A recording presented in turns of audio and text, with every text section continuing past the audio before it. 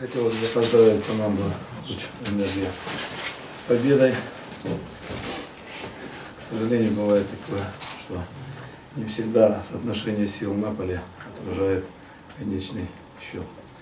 Считаю, что в данной ситуации наша команда не заслужила поражения. Игра, в принципе, проходила, ну, скажем так, с небольшим и территориальным игровым преимуществом нашей команды. На конечный, на конечный результат повлияло, повлияли а, моменты с реализацией тех голевых моментов, которые были использованы моменты два в начале игры. В первые пять минут счет 2-0 уже должен был быть. 2-0. И во втором тайме а, момент не использовал Горокоев, момент не использовал Альшин, принимая мяч практически в штрафной площади в створе ворот. Не хватает хладнокровия, не хватает мастерства. Поэтому результат такой. Не забиваешь ты, забивает тебе. У Луча практически ничего не, не предвещало, потеря мяча в центре поля, атака, удар, гол. И вторая тактическая ошибка, когда, ну там с нарушением картала, с нарушением э, эпизод был, когда выход один на один вратарь вытащил. Вот там явный фол был, судья пропустил. Так игра под нашу диктовку проходила. Спасибо. Павел Пантелеевич, э, говорят, что вы добирались до Владивостока с большими приключениями. Это так? Ну, это действительно так, но я бы не, не, не искал причину поражения только в этом. Действительно, да, у нас были большие сложности. Мы э, практически 20 часов мы добирались до э, Владивостока. А, по техническим причинам рейс не вылетел из Воронежа в Москву. У нас состыковка была рейса, 5 часов запаса было, и в 16 часов в Москву мы должны были вылететь. С большим трудом, благо, что оказались места на другие рейсы, мы двумя группами разделившись, улетели, я взял с собой там основной состав, доктора и массажиста, улетели одним рейсом, но мы уже было в Шереметьево, мы улетели во Внуково с большими трудностями, добирались практически впритык приехали на игру. Вторая группа улетела позже нас на, а, в Домодедово и буквально приехали к э, началу, ну, уже к вылету. И такой вот период, 20 часов добирались. Но это, я считаю, что это не, не оправдание нашего поражения. Сами виноваты в том, что, то, что я до этого сказал. А, понятно, спасибо. Коллеги, пожалуйста, вопросы. Павел Зайцев.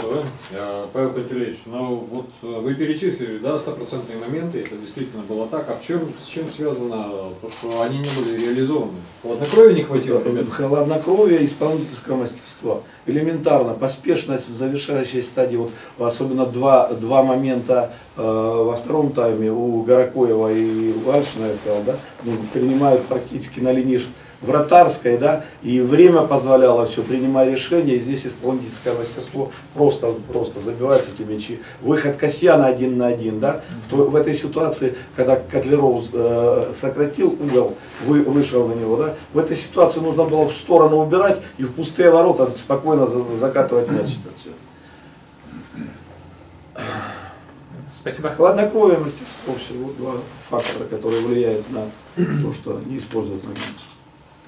Пожалуйста, еще вопросы. А вы вообще как-то готовились к игре и просматривали игру луча энергии? Вот я знаю, что лучшая энергия наверняка процентов ну, на 99 а вашу игру осматривали, а вы осматривали? Ну, естественно, мы смотрели игру с э, московским «Спартаком» и предполагали, как Луч будет играть и какой состав. Э, я ошибся в одной фамилии, вместо э, Кирисова вышел Кренделя. А так тот же состав, естественно, мы смотрели, анализировали, показывали ребята, ребятам указывали на сильные и слабые стороны команды. И, в принципе, я еще раз повторяю, игра под нашу диктовку шла. Спасибо. Пожалуйста. Павел Пантелеевич, а какие цели на остаток сезона ставит ваш клуб? Ну, первая цель, мы играем для болельщиков, да, в каждой игре радовать э, наших болельщиков.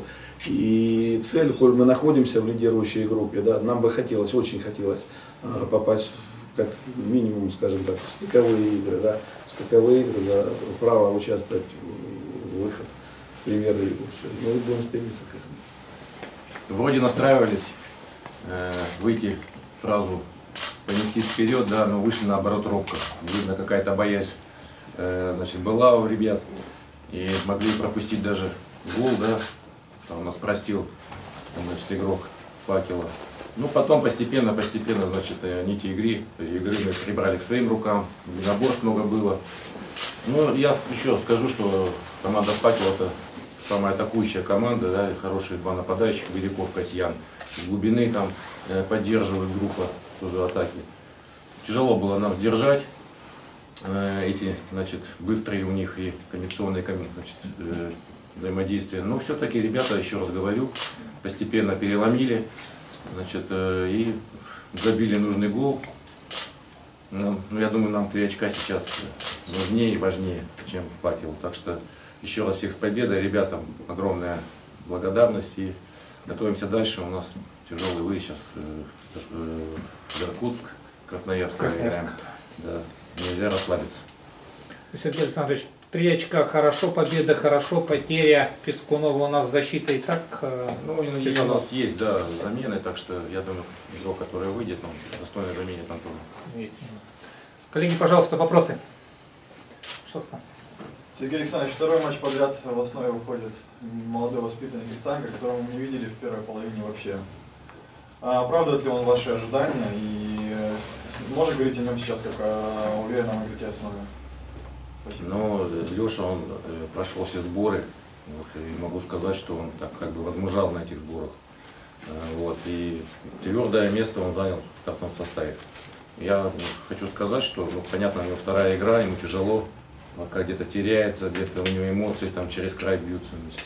Но сегодня он как бы сыграл достойно, на уровне, да, не проиграл этим, я еще раз говорю, двум хорошим нападающим борьбу навязал.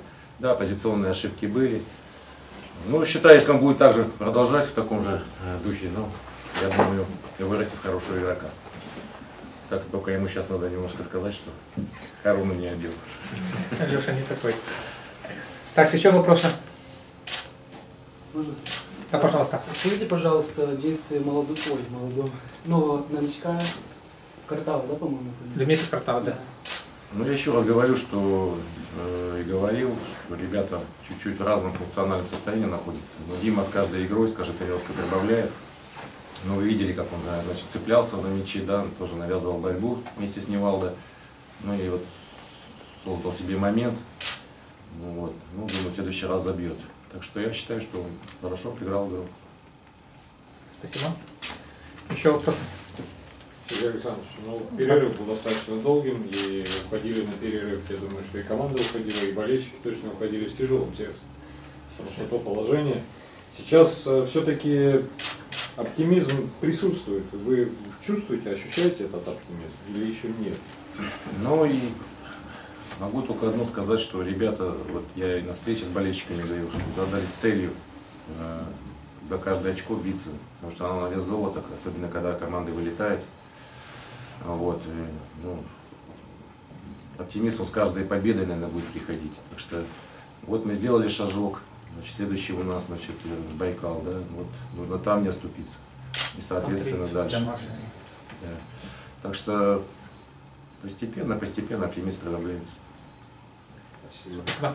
Еще вопросы?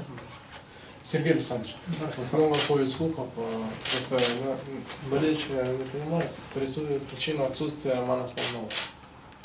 Я же говорил, что Роман и у нас в лазарете находится Роман Славнов, значит, Альберт значит, Гаджибеков. И вот сейчас уже, завтра уже в общей группе Денис Клопков будет тренироваться, индивидуальную программу сделал.